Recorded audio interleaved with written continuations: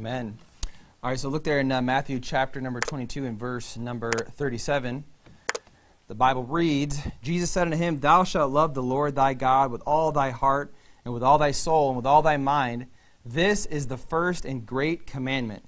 And the second is like unto it Thou shalt love thy neighbor as thyself. On these two commandments hang all the law and the prophets. So, if you if you basically if you can get these two commandments right in your life, the Bible says that you've fulfilled all the law, which is to love God with all your heart and all your soul and all your mind. But then it says that the second commandment is is like unto it that you love your neighbor as yourself. So when Jesus is asked what is the great commandment in the law, this is what his answer is is that number 1, love the Lord thy God with all thy heart, soul and mind, and also the second is like unto it to love thy neighbor as thyself. So we need to know. So the title of my sermon is How to Love Jesus. So we need to know how to love Jesus because loving God is the most precious thing that we need to remember as Christians, and loving God is the reason why we're here. Uh, turn in, uh, to, in your Bible to Ecclesiastes chapter number 12 and verse number 13. Uh, Ecclesiastes chapter 12 and verse number 13. The Bible says, Let us hear the conclusion of the whole matter. Fear God and keep his commandments, for this is the whole duty of man. I'll also read to you from John 14, 15. The Bible says, If you love me, keep my commandments. So if someone is a Christian, they might think to themselves, Well, of course I love Jesus. I, am in church today, right? I'm singing hymns, right? But loving Jesus is more than just going to church, right? So the world is filled today with Christians that they think they know how to love Jesus and they don't really love Jesus, or they re- don't really, they, they think they know how to love Jesus and they don't really know how to love Jesus. And there are people today who don't love Jesus at all and they think they love Jesus. So these statements, they sound similar, but they are really two different situations. One group is they're saved, but they have a misguided attempt at loving Jesus.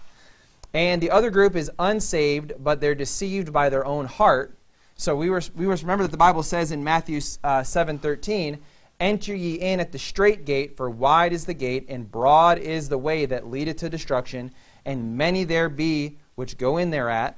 Because strait is the gate, and narrow is the way which leadeth unto life, and few there be that find it." So there's many unsaved people who they, they think they love Jesus, but in reality they love another Jesus, right? they're, they're going down the broad path of destruction. They haven't really found the straight gate because they haven't actually been seeking the right way. They're just basically, you know, seeking their, their own lusts and pride. So they think they love Jesus, but then rather they love another Jesus. They're deceived by Satan into believing a lie through their own pride. So turn in the Bible to uh, 2 Corinthians chapter number 4.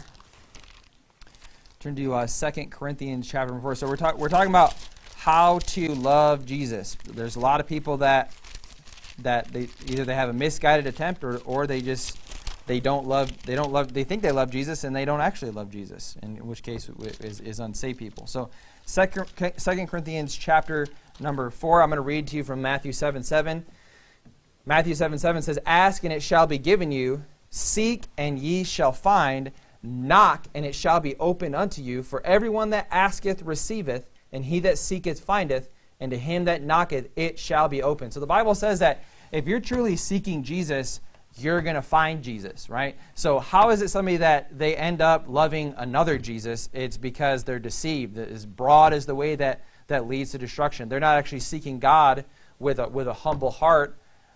They're they're not really asking to find Jesus. They're just fulfilling their own lust. So in uh, 2 Corinthians chapter number 4, we're, we're going to uh, we're to read from verse number 3. It says, But if our gospel be hid, it is hid to them that are lost, in whom the God of this world hath blinded the minds of them which believe not, lest the light of the glorious gospel of Christ, who is the image of God, should shine unto them. So they're choosing not to believe. When they're presented with the real Jesus, they're not believing in the real Jesus.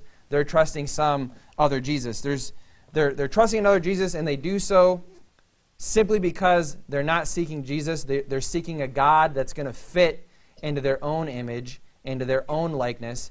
They want a God that's going to make them feel good, right? So we have a world filled with so called Christians, right? They're not really saved, but they love their own version of Jesus and not the Jesus of the Bible. They love a Jesus that's okay with adultery, even though Jesus in the Bible says that adultery is a sin. They just think, oh, ad- adultery is fine. God wouldn't be mad at me for that. They love a Jesus that's okay uh, with, with living with someone that you're not married to. Well, you know, we love each other, so it's fine. You know, I mean, the Jesus that I believe in is okay with that. We've all heard that, that those type of statements. Or they love a Jesus that's okay with, with just a few beers, right? We've all heard, well, I, I, yeah, I th- my, my Jesus would drink a beer with me because people, people are inventing their own Jesus in their mind. They love a Jesus that's okay with rock and roll. So they think, you know what? Yeah, Jesus is fine with rock and roll. I mean, if we play rock and roll in the church, that's going to bring in more unsaved people. Isn't that, isn't that going to be great? You know, but what you win them with is what you keep them with, right? So if you're going to win people to your church with a bunch of rock and a rock and roll beer church, then what you're going to keep them with is your rock and roll beer church. And last time I checked, rock and roll and beer is, is not compatible with righteous living from the Bible. Amen. So they or they love a long-haired hippie Jesus that's all right with all, all their sins. That, that you know that, that, that wicked rock rock and roll song that you know that says uh, Jesus is all just all right, right? Well, that that's Jesus ain't just all right with all, all your sin. Okay, the Jesus of the Bible has something to say about your sin, and people think that the Jesus of the Bible calling out your sin, they think that's not loving because they have a false sense of love. Because when the Jesus of the Bible that calls out your sin why does he do that? Because he wants you to live a right life, because he wants you to be blessed.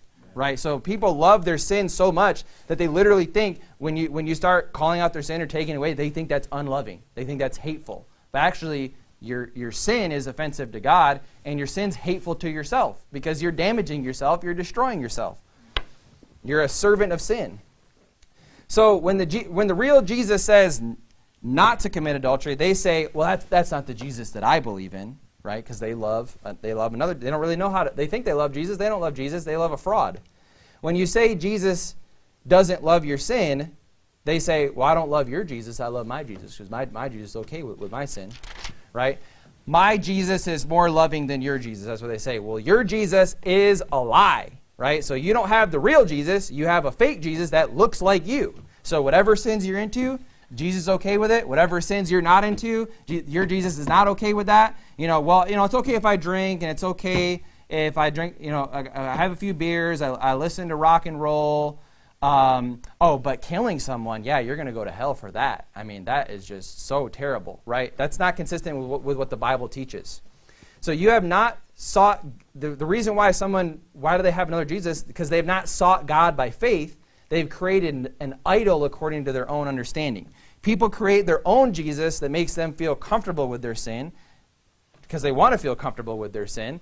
And they create a Jesus that's going to help them to blend in with society. So, whatever society thinks is kind of normal and, and allowed, that's the Jesus that people come up with in their mind. You know, so if we if we were living in a society where it's independent fundamental Baptist, King James Bible, you know, old-fashioned hymns, soul winning, you know, teetotalism, which is like, you know, you don't drink any alcohol. If we lived in a society like that, then people, they probably, it would, it would be weird to come up with a Jesus that, that is okay with all your sin if you lived in a society that's not okay with that. But as soon as you're, uh, you live in a society that's okay with abortion and, and homos and adultery and pornography and all and, and all this wicked stuff, then it's like, well, yeah, I've got a Jesus that's kind of that, that he's okay with that, you know. I mean, yeah, somebody who gets an abortion, I mean, G- Jesus wouldn't be mad at them. You know, he, he, would, he would go with, he'd go with them to the abortion. It's just blasphemous that they, would, that they think, oh, Jesus is going to go to the abortion clinic and, and be there to support you, right, as you murder your baby, right? So they, they believe in a fake Jesus. This is why so many people say they love Jesus when they actually believe in another Jesus. They need to believe the real Jesus before it's too late and that's why it's much more, important, more important to focus on the first group that we were talking about, which is saved Christians that are have a misguided attempt at loving Jesus, right? That's, that's the main one that I want to address. People that are unsaved or believing in a false Jesus, we know they need to get saved. We know they, that we need to preach them the gospel because they are deceived, right? So you have saved Christians that think they know how to love Jesus, but in reality, they're, they're, they're kind of mis, misguided in their attempts. So Uh, let's start with uh, John 14, 15. You can turn there if you want. It's just that short verse. If ye love me, keep my commandments. So, many of us are very familiar with this scripture, and we would use this. We would use this verse as like the number one scripture on how to love Jesus. Hey, if you want to love Jesus, you know, just keep his commandments.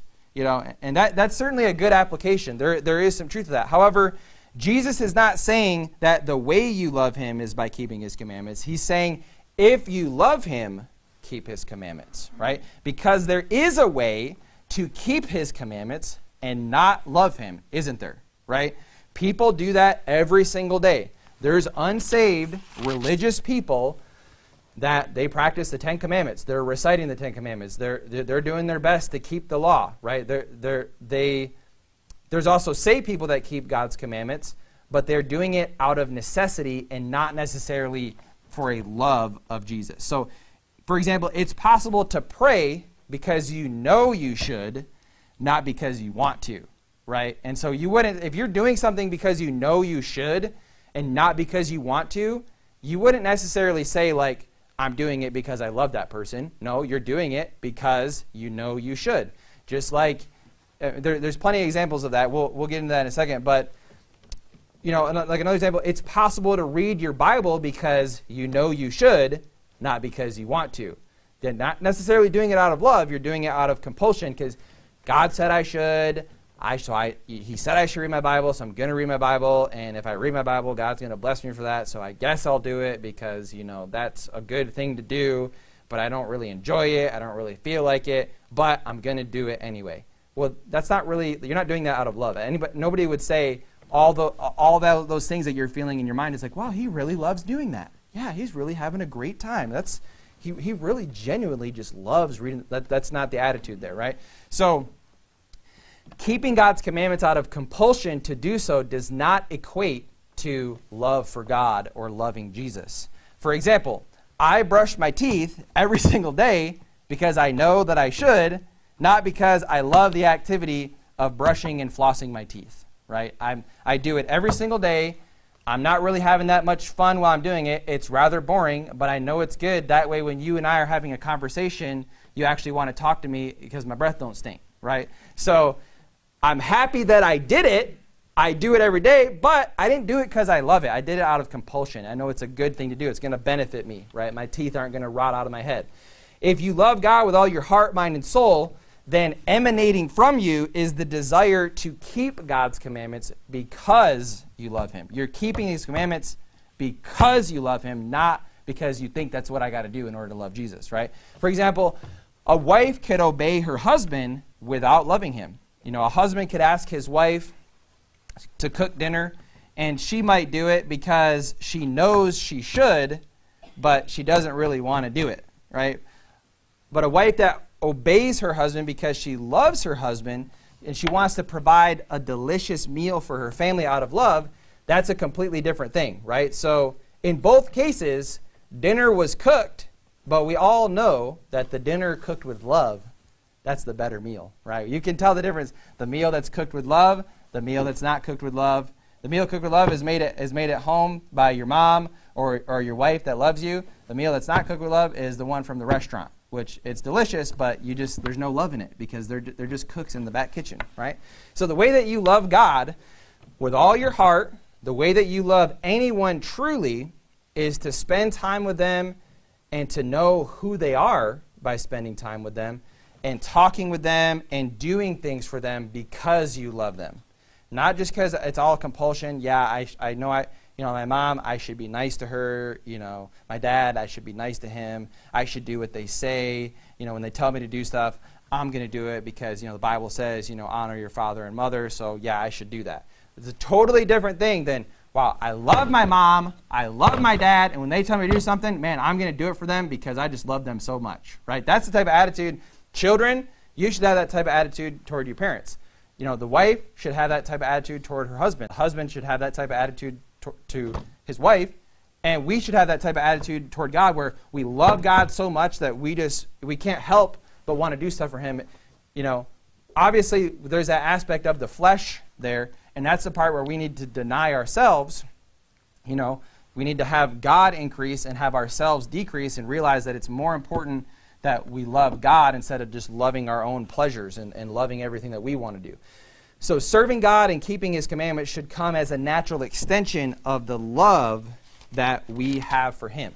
So, you might be thinking to yourself, you know, I'm keeping God's commandments, but I'm just doing it because I know I should. I know it's good for me. I know that God wants me to do it, but I'm just not that into it. So, turn to, to Psalm 51 turn in your Bible to Psalm number 51. And we're going to read verses, uh, we're going to start at, at verse number 7. So, Psalm 51 and verse number 7. Bible reads, Purge me with hyssop, and I shall be clean. Wash me, and I shall be whiter than snow. Make me to hear joy and gladness, that the bones which thou hast broken may rejoice. Hide thy face from my sins and blot out all mine iniquities. Create in me a clean heart, O God, and renew a right spirit within me. Cast me not away from thy presence, and take not thy Holy Spirit from me. Restore unto me the joy of thy salvation, and uphold me with thy free spirit. Then will I teach transgressors thy ways and sinners shall be converted unto thee. Deliver me from blood guiltiness, O God, thou God of my salvation, and my tongue shall sing aloud of thy righteousness. O Lord, open thou my lips, and my mouth shall show forth thy praise. So if there's any problem that you're having in the Christian life, the first thing that we should do is talk to God. You might think, well, you know, I, I already pray. But I just do it because I know that I should, right? Maybe when you pray, in your prayer uh, this is a, this is a thing. Do you pray in a prayer closet right? Now a prayer closet is not this special room that is only a closet for prayer.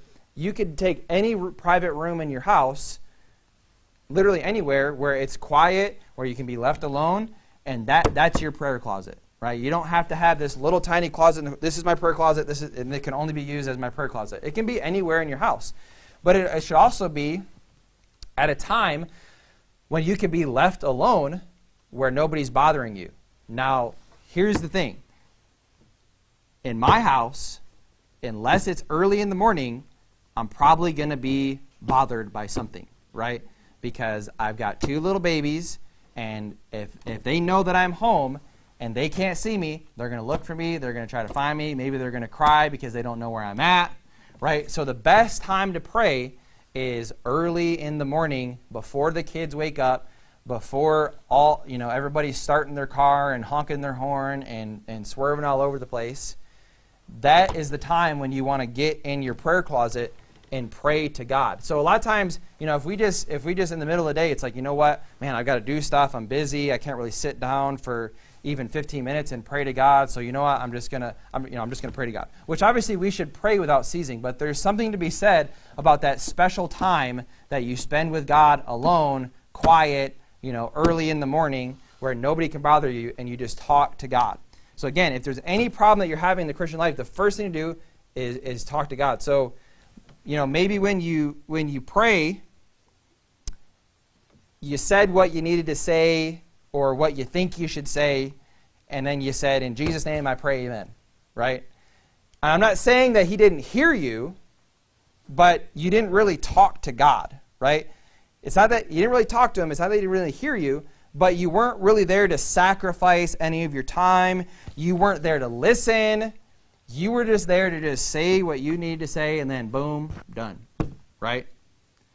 God is not your magic genie that you call on when you need something, right? That's not the, just the purpose of, of praying to God is, well, I know that I should pray and I should say things that I want because if I ask, God's going to give them to me. So bing, bang, boom, you know, hakala, bing, bang, amen, right? That's not what the, your prayer is supposed to be. Prayer is supposed to be you talking to God. God is the creator of the universe and he loves you and he wants to talk to you and he wants you to listen, right? Amen? He's not there just to listen to you. You should also be there to listen to him. If I walked up to Brother Fabian, I said, Brother Fabian, there's some things that I want. So I'm just gonna, you know, I want, I want, uh, I'm gonna want lunch, and I also am my, my have some damage to my car. I'm going to need that fixed, and I I need to be more blessed financially, and uh, and and I need you to help me with this thing and that thing. Okay, thanks. Bye. Did we have a conversation? We did not. There was no exchange of anything. We did not have a conversation. How does Fabian feel if I just walk? Hey, this is all things I want. Okay, bye. I'm done. That's not simply what our prayer should be to God. You know, if I walked up to you and I told you all those, all the things that I want and need, and I said, "Okay, bye," you might actually be a little bit of, of offended. Be, uh, you could actually be a little bit offended by that, but you certainly wouldn't say that we had a conversation. Fabian would not say that we just had a conversation. We would say that I barked some stuff at him and then it was done. So if you read verse number 17, it says, The sacrifices of God are a broken spirit, a broken and a contrite heart. O God, thou wilt not despise.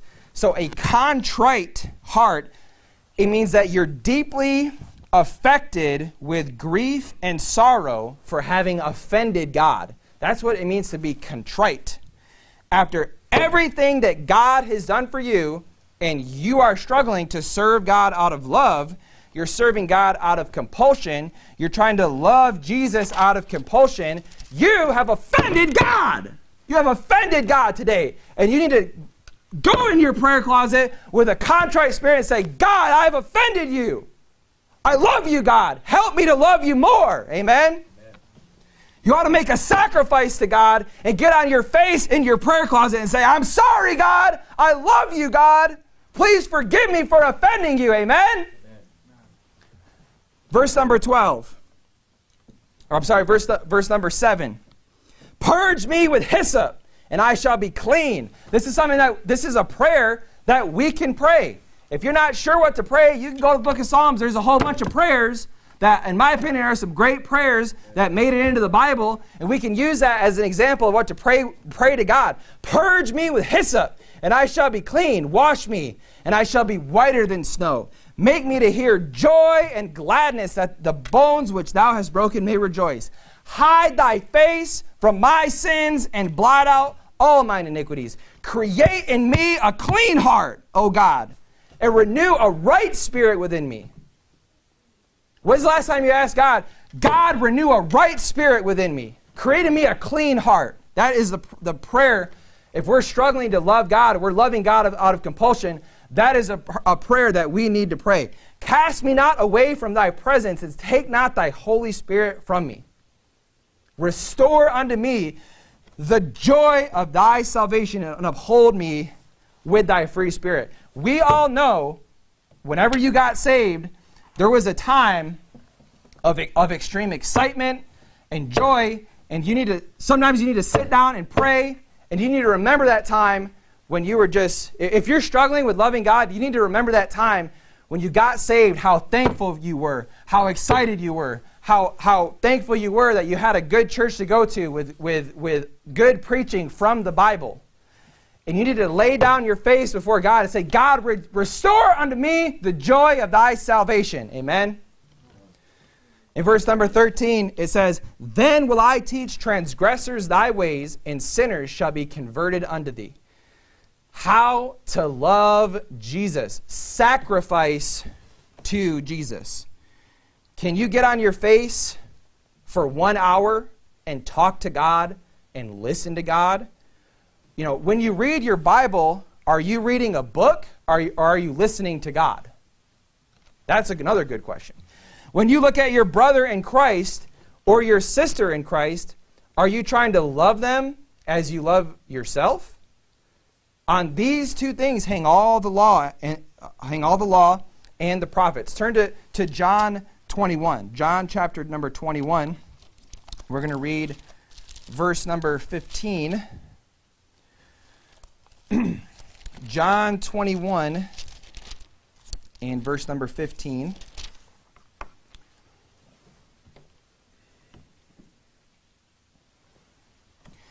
So when they had dined, Jesus saith to Simon Peter, Simon, son of Jonas, lovest thou me more than these? He saith unto him, Yea, Lord, Thou knowest that I love thee. He saith unto him, Feed my lambs. He saith to him again, the second time, Simon, son of Jonas, lovest thou me? He saith unto him, Yea, Lord, thou knowest that I love thee. He saith unto him, Feed my sheep. He saith unto him the third time, Simon, son of Jonas, lovest thou me? Peter was grieved because unto him because he said unto him the third time, Lovest thou me? And he said unto him, Lord, thou knowest all things, thou knowest that I love thee. Jesus saith unto him, Feed my sheep. So if you love Jesus, then feed his sheep. Who are Jesus' sheep? His sheep are your brothers and sisters in Christ. You know, so as Christians, you know, we should read our Bible, we should pray, we should go soul winning. You know, we need to cleanse our heart. We should love righteousness. We should hate evil. We need to love God with all our heart and all our soul and all our mind. But remember, go to go to go to 1 John, 1 John chapter 4.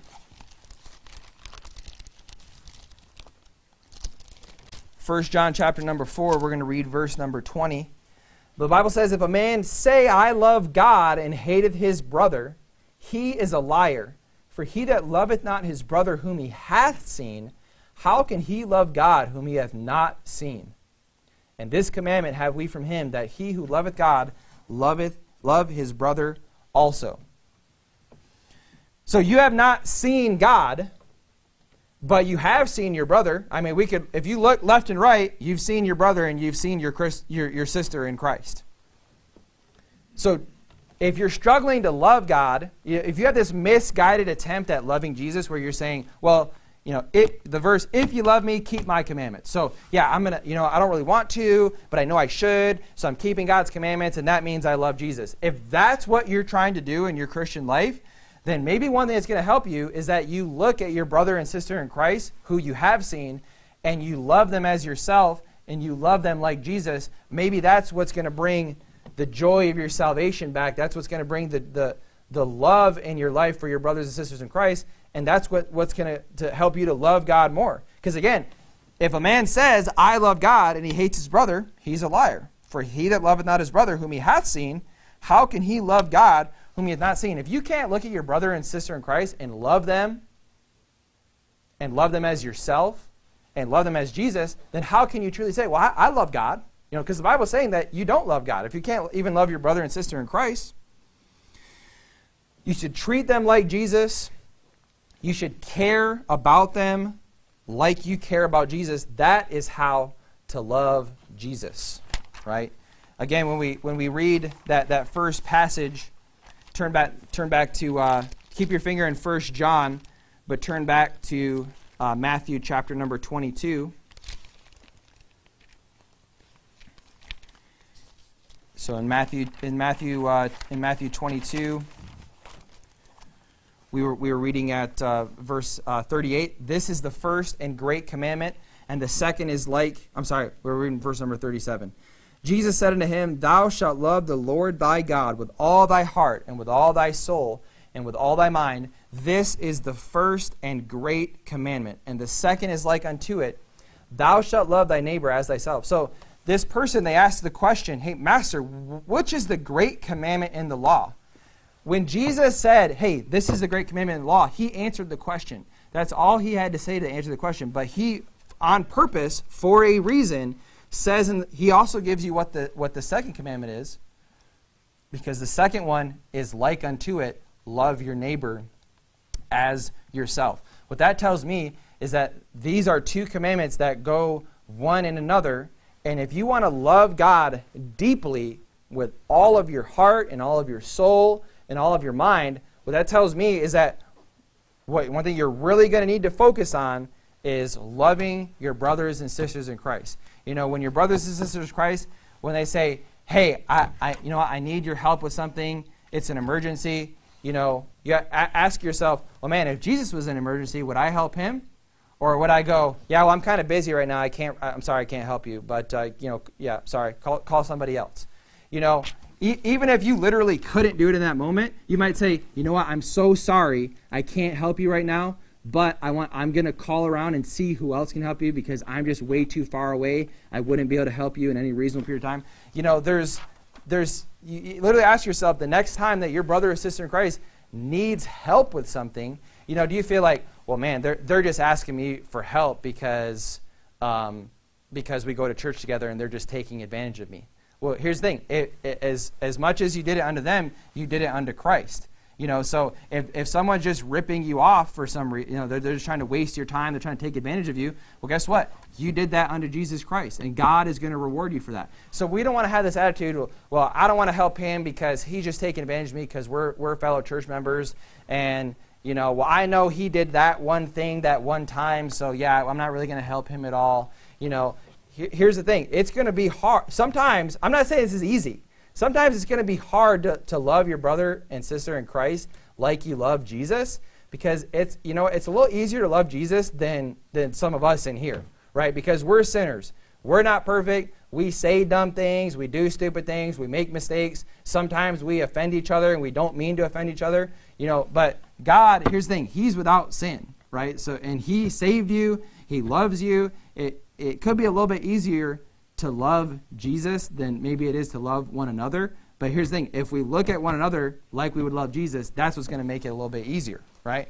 So turn to, to 1 John chapter number, uh, where, where, if you kept your finger there, 1 John 5, we're going to read verses 1 through 3. It says, Whosoever believeth that Jesus is the Christ is born of God, and every one that loveth him that begat loveth him also that is begotten of him.